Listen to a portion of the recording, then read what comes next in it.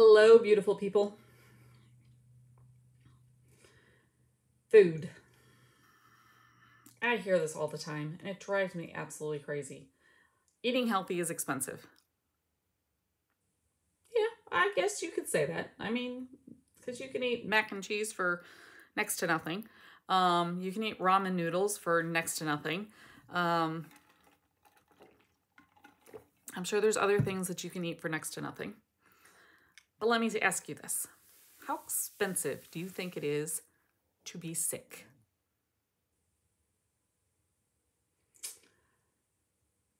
Several years ago, 2016,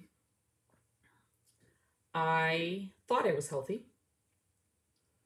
Knew I was struggling with some things, but didn't really think too much of it. I mean, I had fatigue, I had brain fog, um, I was emotional.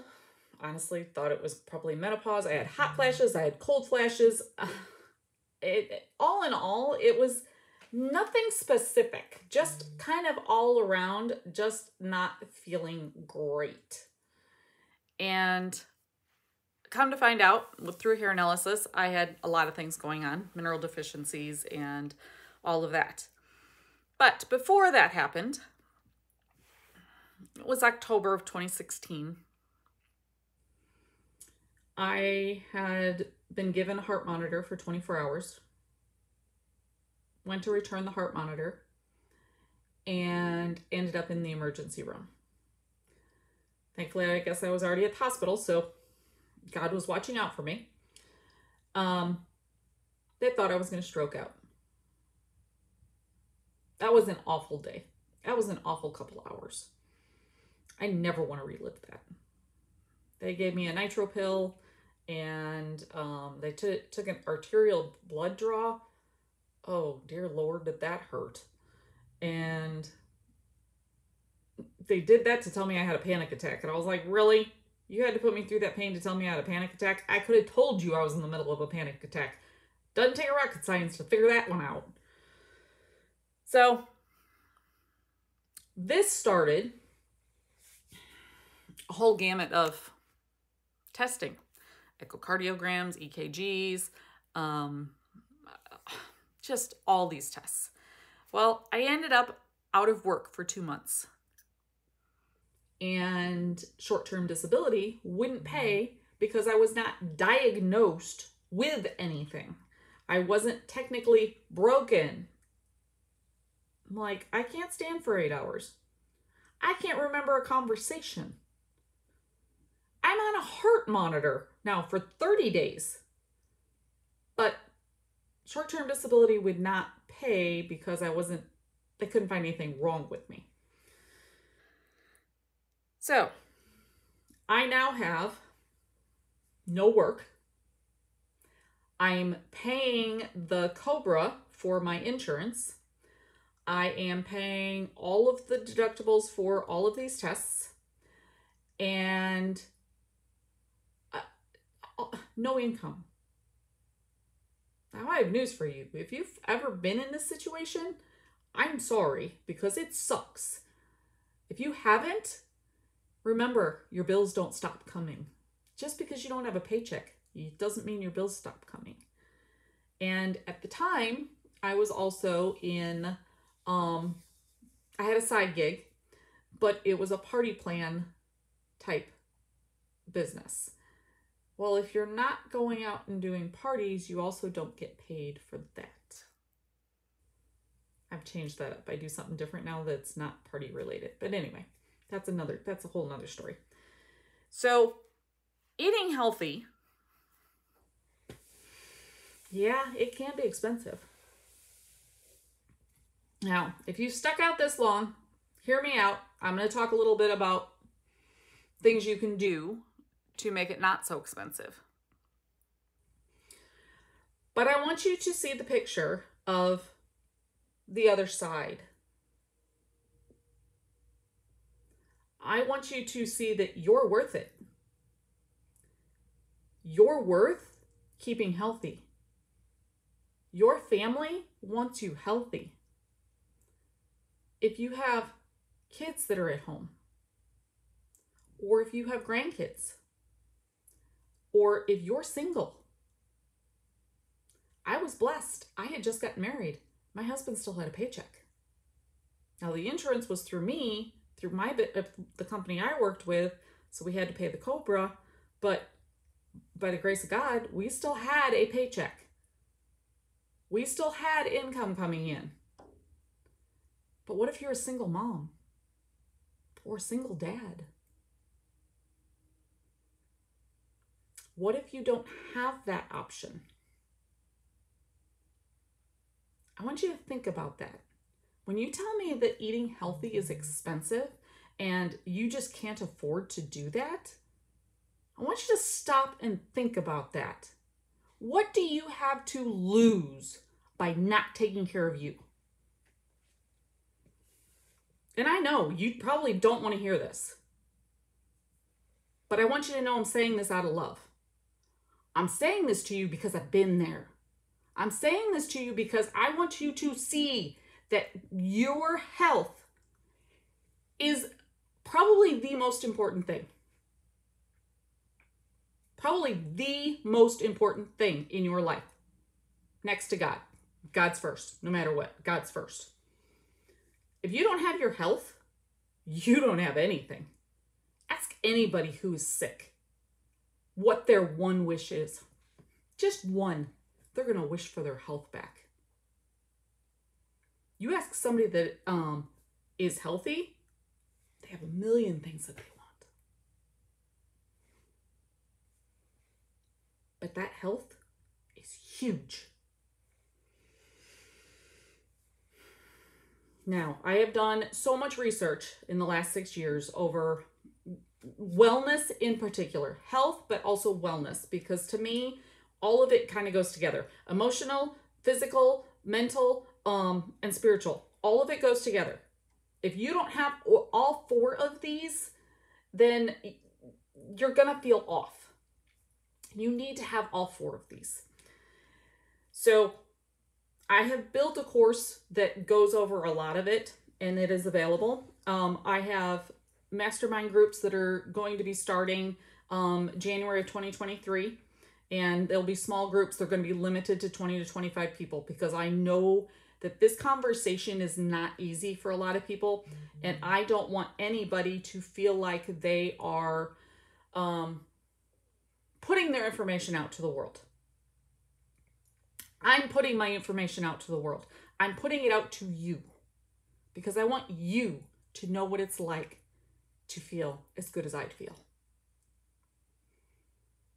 I didn't always feel this good. I'm getting ready to turn 50. Bless her heart. I think she's probably needs glasses, but bless her heart. I had a lady today tell me that she thought I was in my 30s. I was like, um, no, but thank you. I appreciate it. So, your health is 100% worth it. 100% worth it. So, a few things that you can do. One, you're going to have to decide that you're worth it. And, honey, you're worth it. Period. Your family will say you're worth it. Your kids are going to say you're worth it. Your friends are going to say you're worth it. I lost four people last year between October and December. Four. And I know I'm not alone in that. I know there's a lot of people that have lost a lot of people in their lives. So they you can't control everything. And I'm not saying that they all died because they're not healthy. I'm not saying that. I'm saying people love you. They want you here do everything you can. You put on your seatbelt to stay safe in the car. You lock your doors at night. Well, some of us do. I lock mine, but some people here are out in the country and they don't lock their doors, but that's okay. They do things to stay healthy. They stay do things to stay safe. Your health is worth it. 100%. So, few things you can do. One big thing I do is um I am not a big fan of breakfast. I like breakfast food. I just don't want to go through all that trouble of eating cooking breakfast in the morning. It's just not going to happen. Um, I have drank meal replacement shakes for years. Um, I finally found one that I really like and actually feel better when I drink it. Um, and you have to price them out. Make sure you're not just buying protein shakes because protein shake is not a meal replacement shake. It needs to be balanced macros. Totally different subject. Just do your research. Um, and if you want information, comment below and I will help you with that because I can show you. I've drank so many different ones. But the one that I have, I love. It's less than $4 a meal. You can't even go to McDonald's for less than $4. And if you're getting it for less than $4, it's probably crap. Sorry, but it is. So that covers at least one of my meals. Many times I actually drink it for breakfast and lunch. So right there in a day, I'm spending less than $8 for the meals. And I know, I'm already going to hear it. I have a family to feed. Okay. Do you want to keep your kids healthy? Just asking. Do you want them to be healthy? Do you want to feed them donuts? Do you want to feed them crap? Because they're going to suffer in school, they're going to suffer in the long run. Sorry, hard truths here. Our shakes are four years old and older. Again, you can do some research on that. Now, for your third meal, dinner, third meal, however you want to call it, whether you eat your main meal at lunch or your main meal at dinner, there are things that you can do. Um, I buy dry beans. Beans are great for you. They're not hard to cook. It's kind of a pretty simple thing, and I mean it's pennies to to feed people with them. Um, soups are a great way to add lots of nutrients and not have them be real expensive. Um, you can buy a chunk of, I'm trying to think what it was. I think it's a chuck roast. I think is what it was called. It was beef chuck roast. Um, and okay, when you look at it, you're probably gonna think, oh my gosh, that's so expensive. I made a huge pot of stew with the roast. Um, I used canned potatoes. You can buy them cheaper if you want to buy the potatoes and cube them up, but I just wait for the canned potatoes to go on sale. And I like them in soup because they don't break down. But you can get potatoes pretty cheap. I personally like carrots in it. My husband does not, so we don't get carrots in it. Um, an onion and broth. Super easy, relatively inexpensive. Um, you can feed a lot of people. Uh, we make chili. Chili is a great way to do it. And if you need to stretch the chili, um, I make sweet potatoes and I put a sweet potato in my bowl and I put my chili on top of my sweet potato. It's really filling and sweet potatoes are great for you. So there's just a few things that you can do to cut your costs. Um, if there's a Costco next to you or an Aldi, plan ahead. Now, I will tell you, I am not good at meal planning. There are some amazing people out there that are good at meal planning. Amazing. I worked with this lady. She had six kids. And most of their life, she was a stay at home mom. And her husband made like less than $25,000. They owned their house, they owned their car, all of her kids were clothed, and all of them were fed. She was an amazing meal planner. Really, she needs to like teach that because she was that good.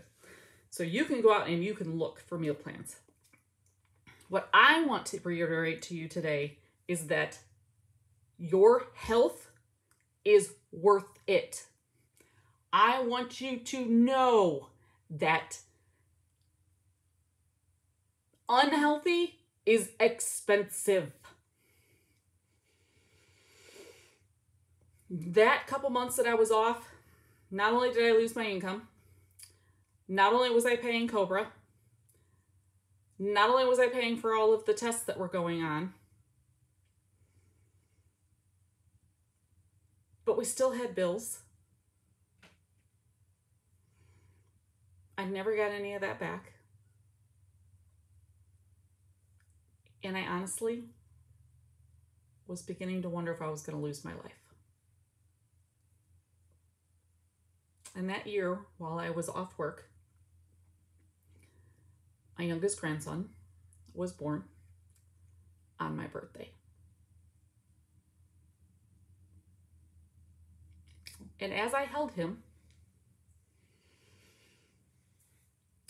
I wondered if I was going to get to see him grow up. Now I know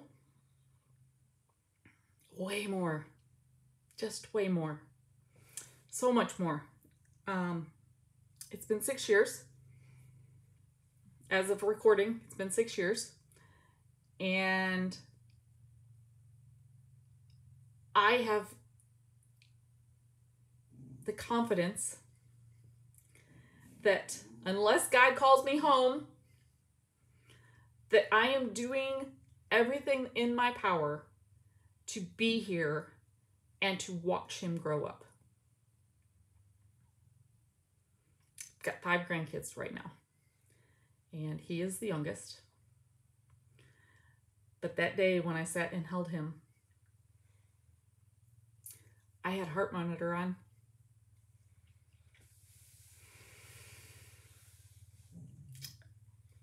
And I didn't know. So when I hear people tell me that getting healthy is expensive, I'm here to tell you not getting healthy can cost you everything. Everything. So, if you need help figuring it out and you want to dig a little bit deeper and get a little more information, reach out to me. Don't hesitate. I'll help you. You have a blessed day and know that you are worth it and you are loved.